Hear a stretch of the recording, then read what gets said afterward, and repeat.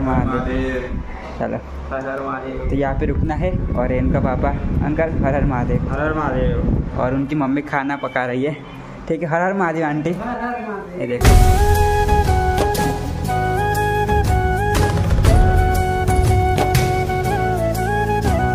हर हर महादेव मैं हूँ आपका भाई गोपू ब्लॉग और हम जा रहे हैं साइकिल से अमरनाथ बाबा के दर्शन करने के लिए, वो भी गुजरात के महिसागर ज़िले से। और आज हमको घर से निकले हुए चार दिन हो गए हैं और अभी हम पहुँच गए हैं। ये जा रहा है उदयपुर हाईवे। ये जा रहा है उदयपुर हार उदयपुर हाईवे जा रहा है और इस तरफ़ है शामलाजी सिटी। तो अभी हम जा रहे हैं शामलाजी मंदिर के दर्शन करने के लिए। बाकी हमारी साइकिल की पैकिंग भी हो गई है और मेरे साथ एक और भैया है, वो भी महिसागर गुजरात से है और मैं भी महिसागर गुजरात से हूँ। ठीक है? तो अभी हम जा रहे हैं शामलाजी मंदिर के दर्शन करने के लिए। बाकी हम रुके थे। ये देखो, अन्न क्षेत्र है। यहाँ पर हमको खाना भी और रहना भी फ्री में मिल गया था। तो यहाँ पे रुको थे तो अभी चलो मंदिर के दर्शन करने के लिए जाते हैं। बाकी चलो हम रुके थे। देखो, वो जगह कुछ ऐसे थी। यहाँ पे हमने फ्री ऑफ़ चार्ज में रुका है। ये अन्न क्षेत्र है। यहाँ पे कोई भी रुक सकता है। खाना पीना सब कुछ मुफ़्त है, जैसे यात्री के लिए, ठीक है? तो बाकी अभी हम नाश्ता कर रहे हैं। वो भी चाय और पोहे है गर्मा गर्म तो चलो कर लेते हैं। चाय, पोहा, ठीक है? फिर यहाँ से चाय पोहा करके मतलब नाश्ता करके फिर यहाँ से मंदिर की तरफ़ हम रवाना हो जाएँगे। देखो ये रहा लक्ष्मी नारायण अन्न क्षेत्र जो कि उदयपुर हाईवे की तरफ़ है और इस ब्रिज के उस तरफ़ श्यामराजी मंदिर है। तो अभी हम श्यामराजी मंदिर के दर्शन करने के लिए जा रहे हैं। तो चलो हर हर महादेव। ये देखो श्यामराजी मंदिर का मेन गेट और हमारी साइकिल यहाँ पे पार्क कर दी हमने। अब जा रहे हैं मंदिर में दर्शन करने के लिए। तो ये रहा हमारा श्यामलिया जी का मंदिर। तो चलो अब दर्शन करने के लिए अंदर जाते हैं।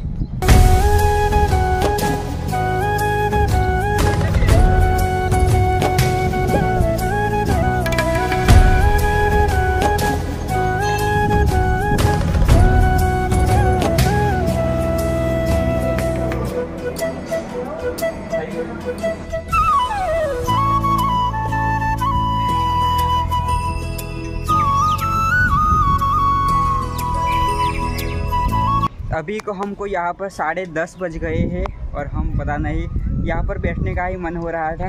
और देखो, पीछे मंदिर है। और चलो, अब हम निकल लेते हैं। चल, निकले।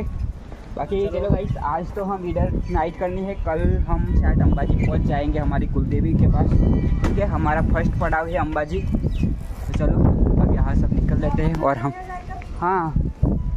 तो देखो चलो चलो, हम पहुँचने वाले हैं। कल पहुँच जाएँगे हमारा फ़र्स्ट पड़ाव अंबाजी। और यहाँ से देखो अंबाजी 116 किलोमीटर की दूरी पे है अंबाजी। तो आज हम रुकेंगे शायद इधर के आसपास रुकेंगे, यहाँ से इधर है 46 किलोमीटर। चलो, ये आ गया ब्रिज अब बढ़ते हैं आगे की ओर।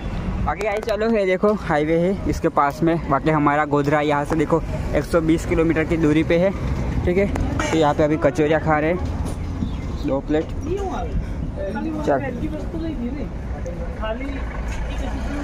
हम्म। चटनी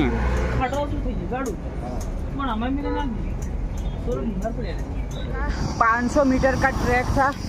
ये जो ढलान है ना वो है बिलोडा चौकड़ी। आगे आने वाला है बिलोडा सिटी आने वाली है। और करीबन 500 मीटर जितना हमने साइकिल पैदल ही चलाई है। बहुत थक गए और ये जो चढ़ा है ना, इसके आसपास, इस कॉर्नर पे और इस कॉर्नर पे। जो गाय भैंस होते हैं ना, वो मरे हुए पड़े हैं। बहुत ज़्यादा बदबू आ रही थी, बहुत ज़्यादा। लेकिन अब कर भी क्या सकते थे हम? आ गए। अब थोड़ा उतार आएगा।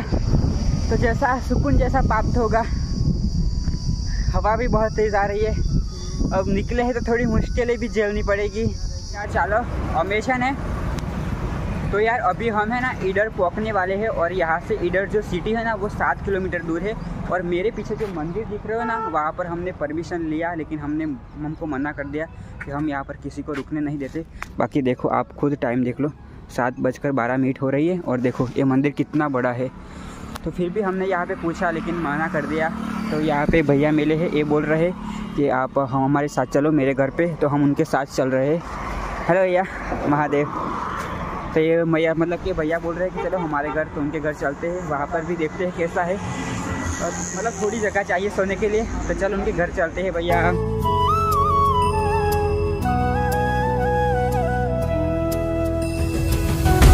बाकी चलो, अभी हम आ गए हैं उन भैया के घर पे, जो हमने उनको बुलाया था। बाकी देखो, ये वो उनका गाँव है, और हमारी साइकिल हमने यहाँ पे पार्क कर दी है, देखो, ठीक है। और अभी हम अच्छे से नहाएँगे, फिर खाना भी अंदर बन रहा है। तो हम अंदर का भी सीन दिखा देते हैं। ये देखो इनका घर है कुछ ऐसा। यहाँ पे हम रात को सोएँगे ठीक है? अंदर खाना बन रहा है। बाकी ये देखो इन भैया के घर पे हम रुके थे। हर हर महादेव। चलो।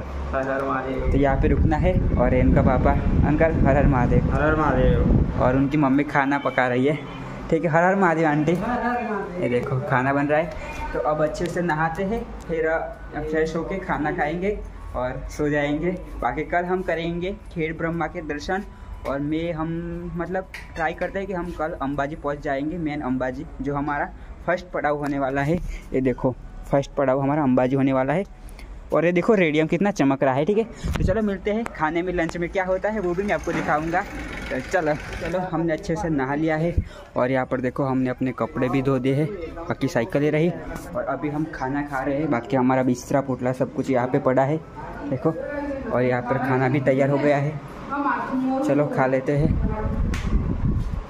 और खाने में भी देखो એ રોટી ઓર ડુંગળી બટાકાનું શાક અને દાળ બવાગની દાળ છે તો ચાલો ખાય हाँ तो चलो जमी लइए ओके गाइस चलो, अभी का टाइम देखो कम्प्लीटली दस बजकर इकतालीस मिनट हो गई है, और अभी देखो अरितन भाई तो सो गए, हम भी सो जाते हैं, कि अभी ब्लॉग मेरा अब एडिट हो गया है, ठीक है? तब मैं भी सो जाता हूँ, बाकी हम आज ऐसी जगह पर सोने वाले हैं, और देखो, कितनी प्यारी हवा आ रही है, वो भी नेचुरल देखो। ऐसे आप भी देखो, सामने खेतर है, और सब लोग हम यहाँ पे सोए हुए हैं कुत्ते भी बहुत ज़्यादा है यहाँ पे, देखो।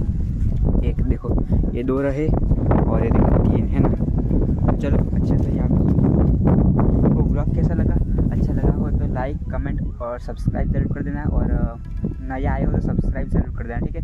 बाकी मिलते हैं अपनी यात्रा डे फाइव यानी कि पाँच डे फाइव में, ठीक है? चलो टेक केयर हर हर महादेव। Good night